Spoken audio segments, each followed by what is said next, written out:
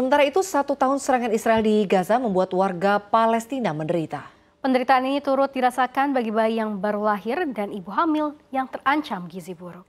Seorang ibu asal Gaza, Rana Salah, menggendong putrinya yang berusia satu bulan, Milana, di dalam tenda pengungsian yang pengap.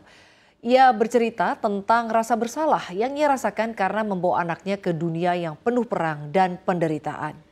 Milana lahir di tenda rumah sakit melalui operasi sesar karena komplikasi pada kehamilannya.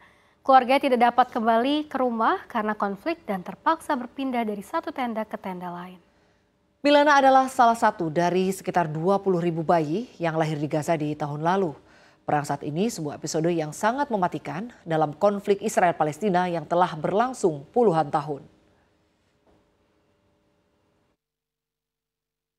أنا لقيت مش قادرة أتحمل مسؤولية بنتي هذه. اللي لقيتي لقيت البامبز حقه 70 شيكل و80 شيكل. الأواعي قعدت الملم لها من هنا ومن هنا ومن هنا. الخوات شوي من هنا شوي من هنا عشان أقدر ألبسها بنتي هذه. حمدت الله ان شوي ها ساعدتها شوية. بس لقيت أنا إيش بعمل؟ بلبسها بامبزه واحدة في اليوم.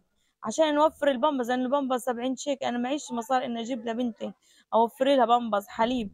بنتي هي وجهها أصفر أصفر. مش قادرة أجيب لها حليب.